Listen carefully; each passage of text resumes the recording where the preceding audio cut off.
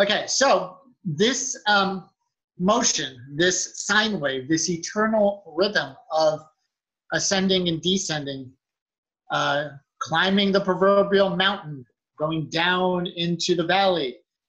Um, the way that it looks um, makes one think of the myth of Sisyphus, where Sisyphus is forever pushing the boulder up the mountain.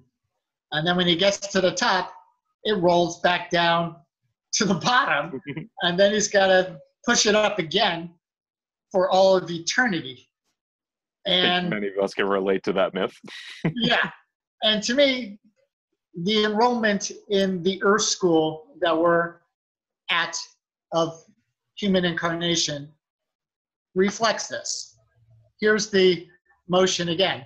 You're going to push the boulder up, it's going to roll down to the bottom, and then you're going to start pushing it up again for eternity.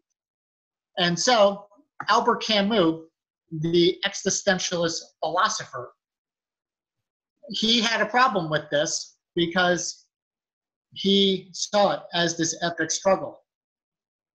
And that we're stuck, we're trapped in this struggle.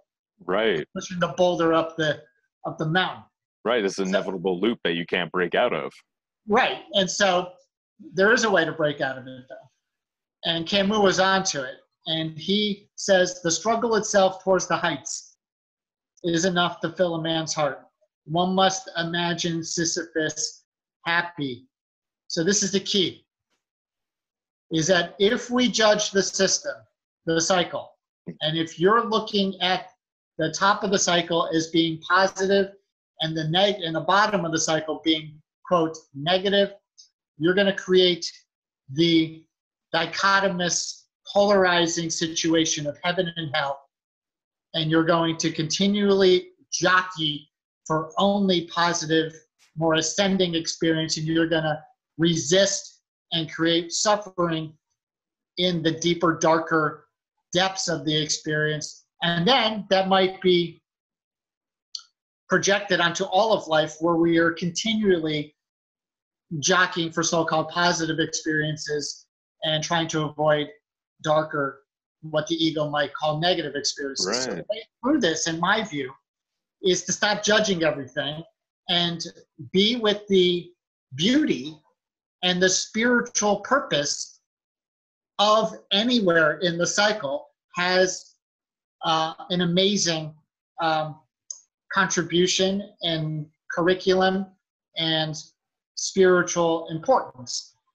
Um, and so we must approach the whole cycle um, from a place of willingness and, and excitement and happiness to be anywhere in the rhythm. Just like we can be anywhere in the seasonal rhythm. We're not going to continually say, oh, it sucks because it's November and it's not the middle of summer. No, be with November autumn energy or with a daily rhythm. The same thing. We day and night is the same pattern.